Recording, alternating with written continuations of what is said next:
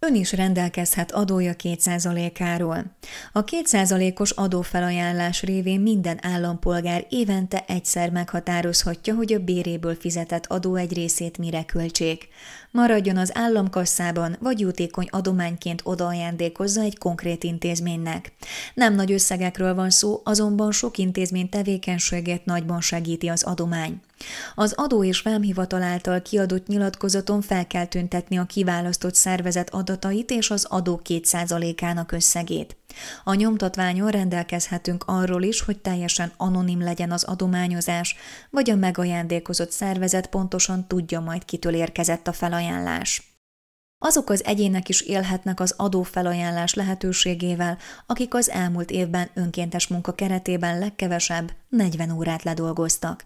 Ők adójuk 3%-áról rendelkezhetnek, ám szükséges egy igazolás csatolása a munkaadótól, ahol az önkéntes munkát végezte.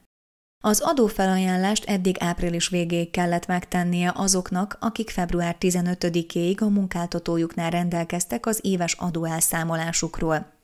A munkaadó ezután kiállította az adó befizetéséről szóló igazolást, amelyből megtudhatjuk, hogy mikor volt befizetve az adónk, és kiszámolhatjuk az adományozni kívánt 2, illetve 3 százalékot. Ezután pontosan meg kell adnunk minden adatot a megajándékozandó szervezetről.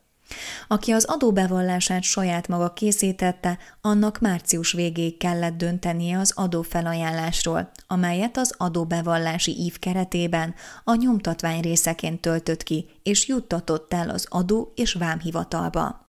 A jelenlegi koronavírus járvány miatt kialakult rendkívüli helyzet módosította a nyomtatványok leadásának határidejét, tehát az igazolást és a nyilatkozatot az adófelajánlásról a rendkívüli helyzet feloldása utáni második hónap végéig kell leadni az adó és vámhivatalban, amelynek 90 napja van arra, hogy az adófelajánlásokat eljuttassa a célintézményekbe.